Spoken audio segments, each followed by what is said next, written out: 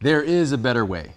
I'm going to show you why instead of this, you should do this. Alfred Castillo here, the Sprinkler Warehouse Pro. Let's get started.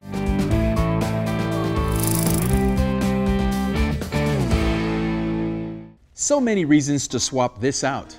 So you've got a sprinkler head near the driveway and miss the driveway by just a bit. The weight of the car breaks the sprinkler head.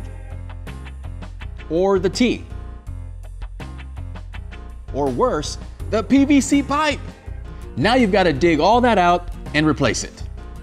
Or you've just added mulch. Now the sprinkler head is way too low. Or you need to replace the sprinkler head, but you bought the wrong size and now it sticks out above the height of the soil. Now, let's check this Blu-Lock setup. This pipe right here is more flexible, less likely to break from the weight of something like a car on it. Not only that, this elbow swing assembly offsets from the pipe. So weight applied to the top of the sprinkler head no longer puts downward pressure on the pipe. If there is a lot of pressure on the sprinkler head, it will swing down, making a broken sprinkler head much less likely. Just added mulch, or the ground settled, or over time grass clippings and added topsoil to your yard raise the level of the ground? Such an easy fix. Just dig around the fixture like so and adjust it to the appropriate height. Oh no, you brought a sprinkler head that's too big. Not too big now. Let's talk about the fittings we've got here. I've got a Blu-Lock street elbow swing assembly, a half inch Blu-Lock to MIPT elbow, a Blu-Lock 3 quarter inch T with a half inch riser, 3 quarter inch Blu-Lock pipe, and a sprinkler head. So to begin, why Blu-Lock pipe? Well, there's 100 feet of PVC 3 quarter inch pipe.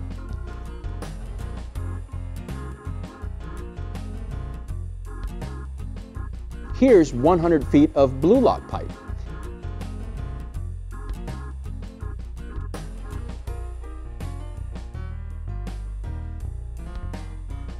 And Blu-Lock pipe is made of recyclable HDPE. That means it's environmentally friendly. Now, onto the fittings. The patented push and go system means no glue and it installs so quickly. Let's install the sprinkler right here. Make a cut, slip on the T, slide it on, now the elbow. Now push in the elbow swing assembly and then I'll screw on my sprinkler head. Each of these fittings freely rotates 360 degrees. You can even uninstall these parts and reuse them elsewhere. To release the half inch fittings, push on these blue tabs and pull the part off. To release the 3 quarter inch fitting, you'll need to use one of these Blu-Lock release tools in the appropriate size.